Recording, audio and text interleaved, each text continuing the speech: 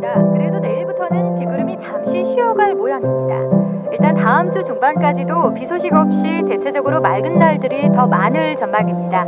다만 오늘 비가 온 터라 대기가 무척 습한데요. 밤사이 대부분 지방에서는 안개가 짙어지겠고요. 특히 서해안 지방에서는 가시거리가 200m 이하로 좁혀지겠습니다.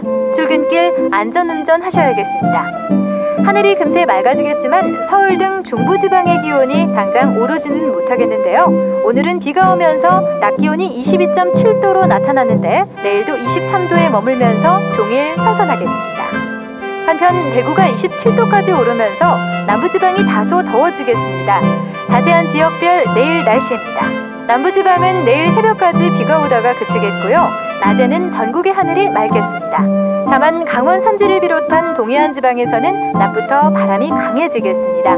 아침 최저 기온은 서울시 15도 등으로 오늘보다 낮아지겠고요. 낮 최고 기온은 서울 23도, 대구 27도, 광주 26도까지 오르겠습니다. 날씨였습니다.